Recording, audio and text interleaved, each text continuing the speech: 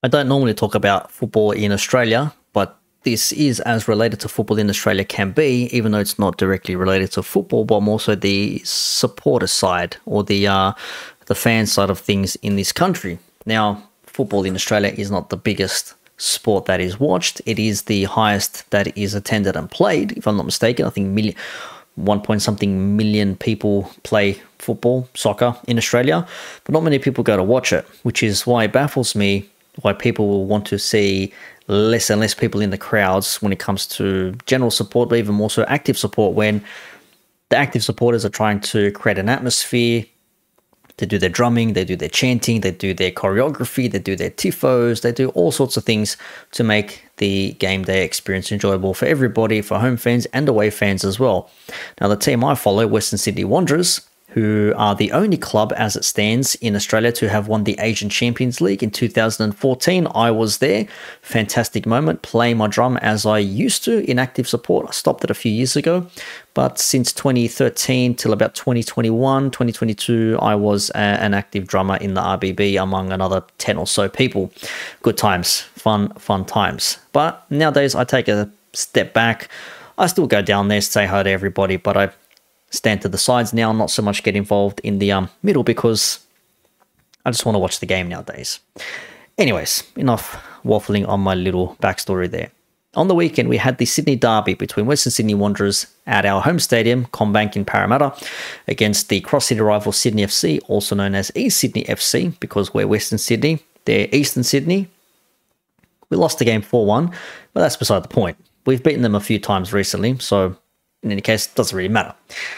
But what does matter is how we're treated as fans when we go to our own home stadium and we're met with riot squad officers as you're looking in the pictures now. So riot squad officers lined up, two flanks on either end, stopping our guys from getting through, going to our base, because that is what happened. And after that, things got a little bit zesty kicked off and we had 20, 30 people dragged, thrown out, tossed to the ground, wrestled, whatever you want to call it, by the riot squad cops for whatever reason. I have no idea why they're there even to begin with. Any other day, we were playing at home, doesn't matter who it is. And look, this isn't to say we don't want cops or need cops in stadiums. You always need cops in security, but that's why you have stadium security. You have your uh, supporter liaison officers as well, like security that reflect uh, or rather that relay information from the supporter groups to the security or to the cops, which is meant the cops are not meant to be involved at all. It's meant to be the security and the supporter marshals involved in in the communication process. But for whatever reason, riot squad cops and normal, you know, you know, sky blue officers, they're always going to just kick off and do whatever they want because they're cops, of course, and who the hell cares? What's you're not going to stop me because I'm a police officer, and it's evident here as well because one report purportedly states that one of the supporter marshals mentioned that they went when they went to try and resolve an incident, they were told by police that they'd be arrested if they got involved. So go figure. Well, what happened? Why do we have all these riot squad cops here? As I said, Sydney Derby, high risk game, but we're all home supporters in that section. There are no rival fans there. Rival fans cannot walk around the stadium or get in. So I don't know why there's that many cops there for our own protection when we don't need it, and definitely not there for our own protection. They were there because they wanted to antagonize and be pricks because it's not the first time they've done this. As I said, been in the active group for over 10 years. I've seen incidents, I've been involved in incidents, even when carrying a drum, just caught in shit for whatever reason because cops want to be cops and they want to be absolute fuckwits, which in this case, they are. That's not to say all cops, but these ones specifically, mega major fuckwits. So what happened? Well, before we get to that little graphic there, the RBB, the Red and Black Bloc, being the name of the active supporter group, the RBB, have left due to 20 members being arrested by police all because they tried to get back in the bay after holding the banner in other bays. Policing football games is shambles. What tops it up is that the league will back the police, which is criminal. Rudan was right.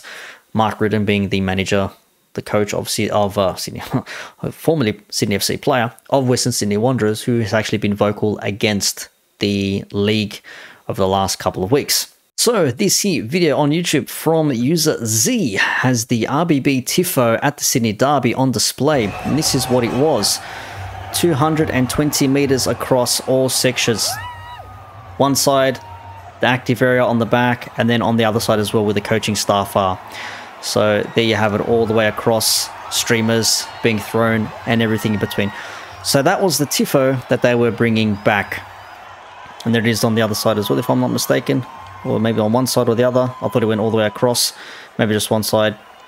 There you have it. There is the TIFO in question. There you have it. That's what that was. So that was the the TIFO that they wanted to take back into the bays. And apparently when they were met in the bays, they were told they were not allowed to go in there. So that is what happened. Now, many an incident happened. There is, uh, they RBB released a statement. The club has since released a statement where they've said here that they clear the TIFO banner was approved prior to the match by all relevant stakeholders, being the venue, the club, the stadium, security, or police, all that sort of shit. It says here, we're urgently seeking a meeting with senior representatives from New South Wales Police and Venues New South Wales to discuss the issues. Consideration with recent incidents around the country, the Wanderers are calling for an all of game response to current processes and safety procedures. Because, of course, I don't know why you need that many police officers there, let alone riot squad cops. But in any case, we go on. So there is video footage of what happened, but before we get to that, this is something that baffles me.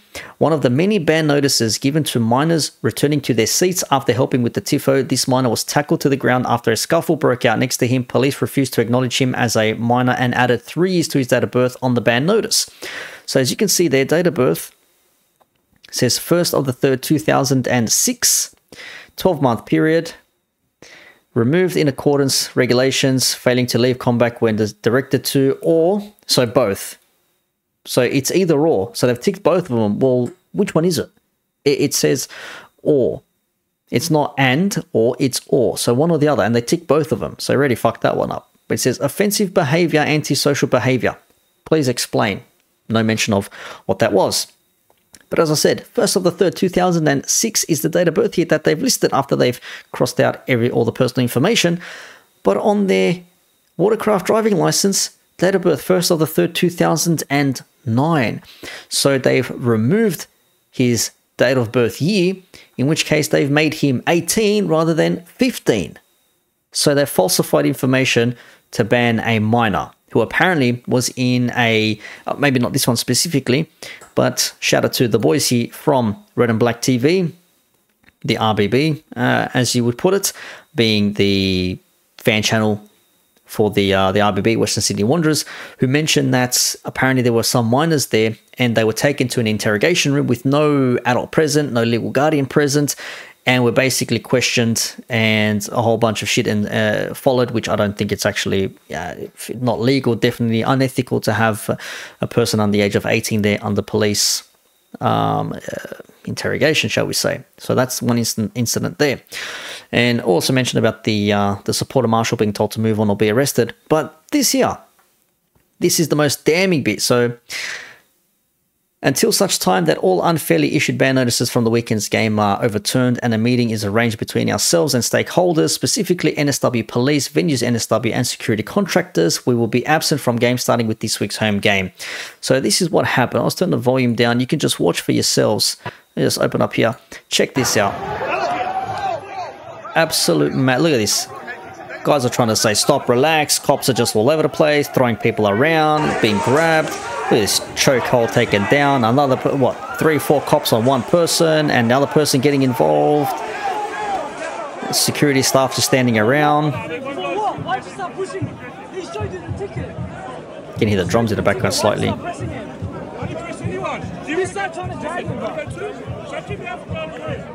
I'm allowed to film whatever I like. I'm going to stand wherever I want to. Okay, cool. Stand there. Not a problem. Cops, mate. Love them. worried that they're doing something they shouldn't. I'm not, uh, mate, I'm not on social media. Since when the fuck does a cop tell someone that it doesn't need to be posted anywhere? Well, maybe, well, clearly it's been posted so people can see what's happening, but obviously the cop is telling him not to record or insinuating not to record because, hey, why are we recording all this dodgy shit we're doing here just because we're cops? This is for their protection, Correct, correct. Another man taken to the ground. Um, yeah, this is a whole bunch of shit. Look at this. You guys are fucked, You guys are fucked. He started it. It's his fucking son. You guys are fuckwits, mate. You are pigs. Standard Aussie language, by the way, just in case you're wondering. Let him go. You're all pigs, mate. What do I want to do? Just back up. Don't matter. Absolute madness. We want to leave. They wanted to leave and then they blocked their, their path. Look at this. Dickheads. How are we supposed to go? You're in the way. Hey, shoved into the barrier. For what reason? Pushed an old man.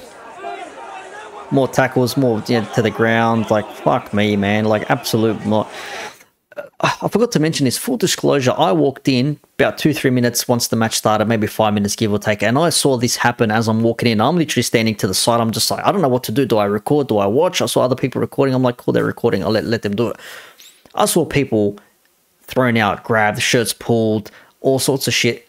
People that have never, ever, ever been involved with security, with police, with any sort of um, authority figure in a negative way. The, the people that I saw getting thrown out, I have never ever seen them get pulled up for anything. They've always been cooperative. They've always they're the ones that are liaising with the police, with the security staff, with the stadium staff, with the venues and the club.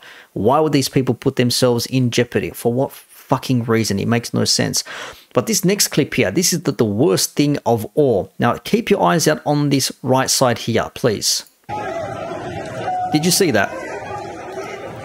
14 year old kid. Did you see? Let me just show you this one more time. Look at what this cop did.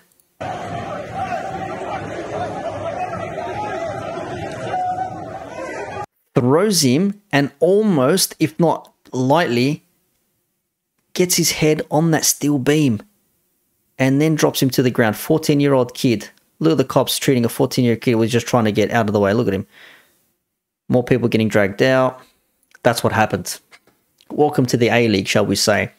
No reason for the cops to be here doing whatever the fuck they did. They did not need to be here doing their bullshit. Absolute nonsense. So here we go. It's from on YouTube. Let's have a look and see what is here. Of course, recording. Oh, there's a little bit more. Okay, so there's a little bit more left at the end of it. Ah, there's nothing else to it. That's pretty much it, really. But there it is. So there you have it. And uh, I love this uh, start here. NSW Police mission statement and aims. The Police Act of 1990 states the mission of the NSW Police is to work with the community and reduce violence, crime, and fear when they are doing everything but. There you have it. That is what happened. That is the football. That is what we deal with in this country. And this isn't just a Western Sydney thing or an RBB thing. This is something that every football fan in Australia needs to be looking out for. It's already happened to Melbourne Victory some years ago. The Victory fans stopped being active supporters for many a year because of their bullshit with the Vic Pol, Victorian police just being absolute pricks. The Den, the Brisbane Roar supporters also had their own issues with the cops. Macarthur, the Macarthur FC fans, the the, uh, the the bullpen, I think they called the bullpen. They also had issues with the cops as well. Newcastle Jets fans have had it. Everyone's copped it. It's just happening again and again and again. For what reason? Who the hell knows? But I'll link this video in the description down below from the timestamp of when the conversation starts as to what happened according to the accounts of people that were there and eyewitness accounts. We're still waiting to hear what the police said as far as I know, but that's where I'm going to leave this video. Hopefully this has been informative in some way. And look, cops at stadiums, sure. But the amount of cops we saw at the derby, do we really want to see this every week at football stadiums? This is not South America. This is not Eastern Europe. This is not, you know, the eternal derby. This is not Galatasaray versus Besiktas. This is not Zvezda versus Partizan. This is not Boca Juniors versus River Plate. I don't know why we need to have riot squad cops in our own home section. End the stream, Dave! End the stream! End it, blood! End it now!